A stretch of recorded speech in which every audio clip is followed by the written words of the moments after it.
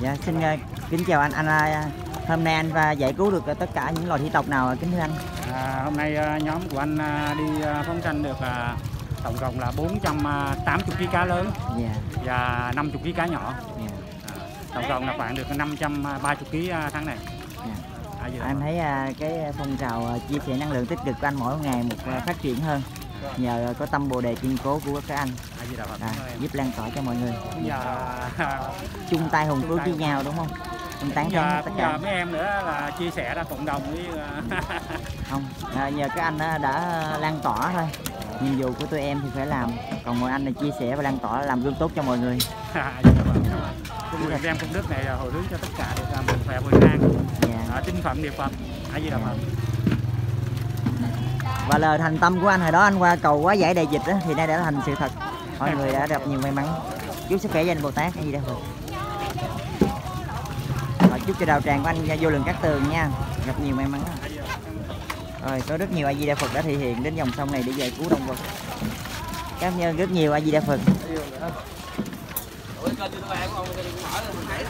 À, gì đó.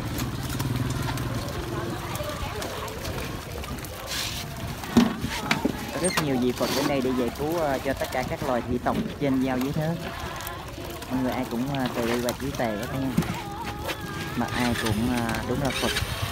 Phật Phật đạo đồng.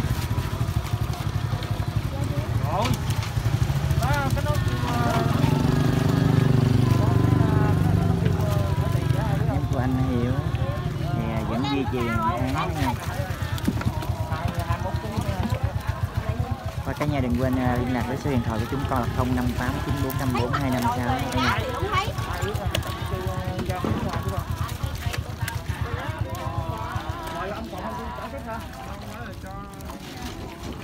mình đi trên bờ thì mình à, đội nón mình xuống à, sông xuống biển thì mình mặc áo phao cả nhà cho nó an toàn đó nha cả nhà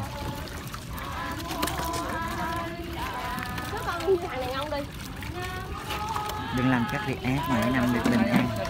Chuyên làm các việc lành hàng năm đều như ý từ bi trùm khắp các pháp giới thì ý, khắp nhân gian. Lấy giáo dục quần dương phật, lấy giảng giải bồi dưỡng nhân tài. Lấy chân thành phát triển giao lưu. Lấy nhân tu cầu sinh cực lạc như đây Cảm ơn cả nhà đã đồng hành và ủng hộ. Cùng chúng con. Và số điện thoại 05894242. Bên này, bên này.